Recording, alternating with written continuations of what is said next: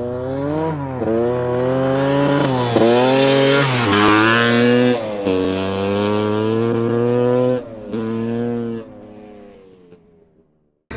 wir zum Getriebe. Wir hatten die Primär, wir hatten die Nebenwelle, jetzt kommen wir zum Getriebe. Getriebe ist eine FA Italia Hauptwelle. Hat bisher ihren Job ganz hervorragend gemacht, ist von der Preis-Leistung her sehr günstig, sehr gut. Ähm, man kann natürlich auch wie an vielen anderen Stellen da nochmal eine Schippe drauflegen. Da gibt es verschiedenste Ausführungen von verschiedensten Herstellern mit anderen Hauptwellen verstärkt andere Aufnahme, andere Bremstrommel. An der Stelle lassen wir die Kirche mal im Dorf. Damit habe ich bisher keine Probleme gehabt, wirklich versprochen, Ehrenwort. Kein Stress mit der FA Italia Hauptwelle. Die hat einen sehr, sehr guten Eindruck hinterlassen und hat bisher auch keine Schwächen gezeigt, deswegen werde ich die weiterverbauen. Preis. So. Nebenwellenachse. BGM. Ja, Nebenwellenachse, Preis. Äh, kann man auch ein Original Piaggio nehmen, aber ähm, Gangräder. Gangräder 1 bis 4, BGM. Das sind die Lusso-Gangräder. Ja. Preise blende ich hier ein. Gangrad 1 bis 4 in der normalen Ausführung. Also Standard 1, Standard 2, Standard 3, Standard 4. Braucht ihr nichts verkürzen, habt ihr alles mit der Nebenwelle erledigt. Deswegen könnt ihr hier auf Standardware zurückgreifen. Das heißt, wenn ihr also ein Lusso-Betriebe habt, was noch in Ordnung ist, müsst ihr natürlich überprüfen. Hätten wir das. So, was haben wir hier? Das können wir noch nicht. Ah ja. Äh, am Ende des Tages musst du die Kupplung noch abdecken. Wobei bei der King-Kupplung wünschte ich mir mal tatsächlich einen transparenten Kupplungsdeckel. Das wäre wirklich sehr sexy, auch wenn das kein Mensch sieht. Aber wenn du mal drunter guckst, dann hast du halt einen schönen Blick. Kupplungsdeckel, ausgedreht, der Preis solltet ihr haben. Muss nicht unbedingt ausgedreht sein, je nach Fertigungstoleranzen kommst du tatsächlich mit dem Standarddeckel hin. Dazu der Original Piaggio Kupplungsarm, Preis sollte auch dabei sein. Ähm, ich merke schon, ich müsste jetzt eigentlich ähm, den Hebelarm und äh, den Andruckpilz auch noch erwähnen. Äh, da mache ich aber am Ende vom Video einfach äh, Kleinteile oder Kleinscheiß und fasse diese ganzen kleinen Teile wie Schräubchen, äh, Nippelchen, Ohrringe, äh, Federchen, alles was damit zu tun hat. Also der ganze Kleinscheiß, der noch dazu kommt, äh, den ich, von dem ich am Anfang sprach, mit Sicherheit auch was vergessen werde. Ähm, den packe ich dann damit zusammen und gebe euch da dann einen Überblick. Bremsbelege müssten natürlich sein. Bremsbelege, BGM-Preis sonst kriegst du die Trommel nie zum Halten. Ganz wichtig. Wenn du gut schalten willst und ein vernünftiges Getriebe hast, brauchst du eine gute Schaltraste. Und hier haben wir eine verstärkte Schaltraste. Ja, kann ich euch mal zeigen. Das ist eine Lusso Schaltraste. Preis hier. Und äh, die ist auch qualitativ sehr hochwertig, gut gearbeitet.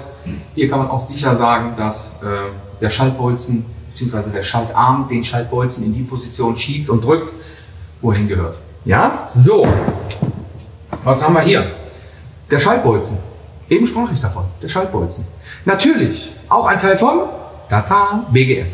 Schaltbolzen, Preis hier. So. Jetzt sind wir mit den harten Teilen schon fast durch. Ah ja, können wir noch was sagen? Moment. Der Zylinder muss sich ja auch schön ab, äh, abgedeckt wissen, damit wir die Luft dahin kriegen, wo wir sie hinkriegen wollen. Das heißt, wir brauchen eine Zylinderhutze. Die muss allerdings modifiziert werden, weil die Zündkerze nicht an der Stelle ist, wo man sie sonst erwartet, nämlich da. Die, muss, die rutscht ein bisschen in die Mitte. Das heißt, es muss ein Loch gebohrt werden und das alte Loch muss oder sollte verschlossen werden, damit du entsprechend einen Kühleffekt auf den Rippen hast. Das kommt noch dazu. Jetzt kommt etwas, was ich bei jeder Bestellung, wenn ich einen neuen Motor baue, vergesse. Die Staubschutzplatte. Das ist so ein Teil, da denkst du echt zu allerletzt dran, wenn du die Bremstrommel drauf hast, denkst du, ach scheiße, da war doch noch was. Also Staubschutzplatte, ja, der Preis solltet ihr tatsächlich auch auf der Agenda haben, was äh, bei eurer Bestellung mit in den Warenkorb muss. So, jetzt sind wir auch schon fast durch. Fast. Auspuff. Auspuff fiel die Wahl auf die Polini-Box. Ja? Der Preis der Polini-Box liegt, glaube ich, bei 139 Euro. Preis blende ich hier ein. Ich weiß tatsächlich nicht, ob es immer noch 139 ist oder ob er ein bisschen teurer geworden ist. Das verändert sich auch mal ab und an. So, also Polini-Box ist die Wahl des Auspuffes. Wobei wir äh, einen S&S und ein Pipe-Design auf dieser äh, Konfiguration auch noch testen werden. Also das heißt, und natürlich die Porsche-Anlage, die werden wir auch noch testen. Zumindest das, was noch da ist. Die Porsche-Anlagen, da musste ich schon einige wieder abgeben, leider. Aber das, was noch da ist, werden wir natürlich testen. Dann ein ganz wichtiger Punkt ist Getriebedistanzierung. Ähm, Getriebedistanzierung, dafür braucht ihr Schulterringe oder Distanzierungsringe. Die könnt ihr im Set bestellen. Das, den Preis blende ich euch ein. Ja, ganz wichtig, Getriebe distanzieren. Sollte so ungefähr bei 0,2 liegen. Alles, was drüber raus ist, ist ein bisschen schlapperig, führt unweigerlich zu einem erhöhten Verschleiß, weil die Scheiben nicht sauber, die Getriebescheiben oder die Gangräder nicht sauber geführt sind. Äh, zu eng, also noch weniger als 0,2. Ja, da wird es ein bisschen schwierig, wenn ihr dich verschaltet, weil das könnte dir dann unter Umständen den Motor kosten. Ähm, äh, würde ich tatsächlich nicht machen. Ich würde maximal und minimal 0,2 äh, anvisieren. Das ist etwas, was sich in der Vergangenheit als sehr, sehr gut erwiesen hat. Die Zündkerze, aber da möchte ich jedem geneigten Quattrinifahrer etwas ans Herz legen. Ich hole die mal raus. Nehmt euch die Zündkerze mit kurzem Isolator, weil ihr dann, äh, ihr werdet merken, ihr habt sonst an der Backe, je nachdem was ihr für ein Moped fahrt, äh, ob Oldie oder Large Frame, äh, PX, whatever, könnte es sein, dass ihr Probleme mit der Backe bekommt und mit den Zündkerzensteckern. Ne? Das baut ja alles nach vorne hin auf. Also da solltet ihr die Kerze mit kurzem Isolator nehmen. Die Kerze ist eine BR9 ECM. Nur so als grobe Richtung. So, Zündkerzenstecker, Preis. So, dann brauchen wir natürlich auch einen Lagersatz. Ja? Jetzt gibt es Standardlagersätze, ähm, die man kaufen kann, wobei bei dem Malossi-Gehäuse man äh, mit dem T5-Lager auf der Kupplungs-, äh, auf der Lichtmaschinenseite arbeiten muss und so weiter und so fort. Also Lagersatzpreis sollte dazugehören, wobei ich immer einen ganzen Lagersatz bestelle, weil die Lager, die ich nicht benötige, an diesem Motorblock benötige ich an anderen Motorenblocken. Sehr gut. Ist alles so zum Beispiel Kategorie Kleinscheiß, Primär, Reparaturset, verstärkte XL-Federn für die Primär. Natürlich. Ganz wichtig. Äh, Befestigungsset für die Hinterradmutter. Ja, Preis. So. Hier ist der ganze Kleinscheiß drin, zum Beispiel Federn, äh, Sägeringe, O-Ringe, alles was du brauchst, um die gewissen Teile im Motor zu fixieren, festzumachen. Ja. Äh, nicht vergessen, Malossi-Gehäuse äh, und die anderen Gehäuse, die auf dem Markt sind, die sind alles Elestat-Gehäuse. Das heißt, ihr braucht, wenn ihr keinen Elestat fahrt, ein Abdeckungsblech hinten für den E-Starter, damit die Luft nicht da hinten rausgeht, sondern zum Zylinder fliegt. Ja, fast zu guter Letzt noch ähm, die Bremsnocke. Vergesse ich auch jedes Mal zu bestellen. Jedes Mal, wirklich jedes Mal. Bremsnocke und Bremsarm. Ja, Preis Ganz wichtig. So. Dann wären wir schon mit dem ganzen Rotz durch. So. An der Stelle werde ich den Videoschnitt machen und an der Stelle wird mir bestimmt noch was einfallen und das blende ich euch jetzt hier ein. Thema Kleinscheiß. Was kostet noch der ganze kleine Rotz, den du noch brauchst, um den Motor zusammenzubauen? Wie ähm, Dichtungspapiere, also sprich ähm, Schaltrastendichtung kommt noch dazu. Dann brauchst du auch ein paar Schrauben, brauchst ein bisschen Dirko. All diesen ganzen Scheiß oder etwas wie Dirko. Es muss nicht Dirko sein. Ich nehme zum Beispiel, ähm, das kann ich euch mal zeigen, oder? Also bleibt mal dran, ich hole das mal dran. So, Motorensilikon von der Firma Wirth. Hat sich sowas von bewährt für Kopf- und für Fußdichtung, ist äh, hitzebeständig, ist, lässt sich super verarbeiten und lässt sich vor allem auch wieder rückstandsfrei entfernen. Brauchst nur ein bisschen Polierwolle und das Thema ist gelutscht. Äh, so ein Döschen Preis blende ich euch ein müsst ihr aber beim geneigten Wirthändler eures Vertrauens über den Großhandel beziehen. So, damit hätten wir die erste Bestandsaufnahme gemacht. Ich glaube, wir haben so ziemlich äh, alles angesprochen, was in den Motor reinkommt. Hoffe ich. Also, wie gesagt, es wird mit Sicherheit irgendwas fehlen. Ist schon nicht ohne, ne? Also der Gesamtpreis aller Teile ist jetzt hier. So, und das ist nur das Material. Dann hat ihr den Motor noch keiner gebaut.